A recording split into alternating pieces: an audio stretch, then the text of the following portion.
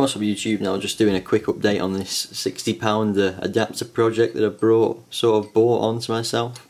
And I've got the adapter which you saw in my one of my last videos and the fuse and the adapter are in really bad condition. Well I've cleaned the fuse up and as you can see the timer ring spins but it's in quite bad condition.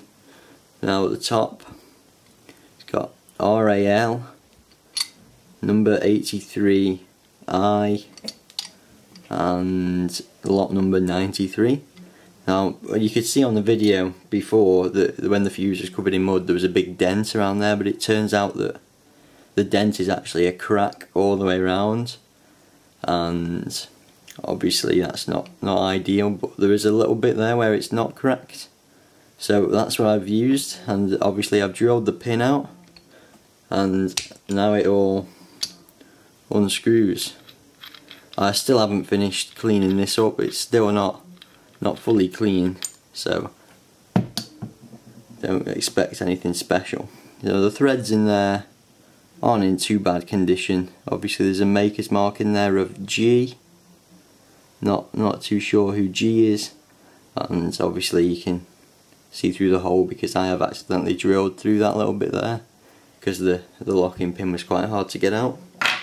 Anyway, moving on the spring slots off. Now this this little spring and the um, charge does come out but it's sort of jammed in there at the minute so I'm not going to flick that out.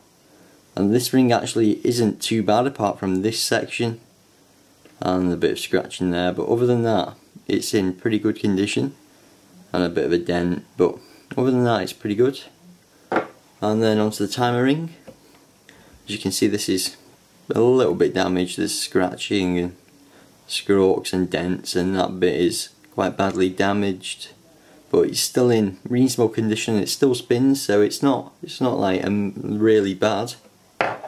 And then into the back where I have the ball and one of the pins. Now the pins I haven't managed to get to fit into this back section yet. They don't actually fit in there yet.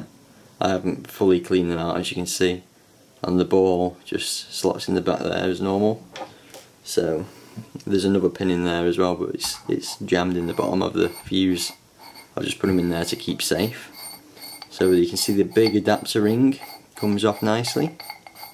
So this is unusual, well it's not unusual but it's, it's more uncommon because it's got that bit there. Normally that bit is blowing off or it doesn't have that bit or there's something else in there. And the threads in there are actually really good condition inside but outside where it screws into the steel adapter this is the big problem. This big dent in the threads there due, due to a heavy impact that's hit there and it strikes across the, the fuse itself. So um, that made it really difficult to get apart it's also damaged the steel, um, the steel threads in the steel adapter. I haven't actually got the steel with me at the minute so I'll have to show you that in another video, which I will do another video when I finish restoring it, but this was the main problem because it's it's really badly damaged the threads. All the other threads are average condition. There's a little bit of damage, but nothing nothing special apart from that. And then into the bottom of the fuse is this base plug, which unscrews as seen. Well, you'd never normally find these. Really, they don't normally. They're not normally still in the the fuse. They're normally gone. And um, as you can see, if you tip it up, the markings sort of match each other there with the square shape or the circle shape in this case. But they, they match each other up when they're closed. Now this is my actual favourite part of the fuse. It's it's most unusual. As I said, I haven't finished cleaning this up, that's why there's still a bit of bit of dirt there not cleaned properly. Also, if you look at the threads on the top there, as I've just noticed again, they are quite corroded and compressed in, but they still still work. And then into the other base plug, which quite tight in there that unscrews freely when, once it's been undone from the, the other bit and then well, you, you can see how these would would match up together. Yeah. So that's that's a small base plug. The threads in there are pretty good. Now the other unusual bit in this is this washer that I've never seen in a number 83 before. It's paper thin, but it's still in good condition, which I've never seen one in the 83 before. But that doesn't mean they're uncommon. They're probably there probably a few in there. Just, just I haven't found them.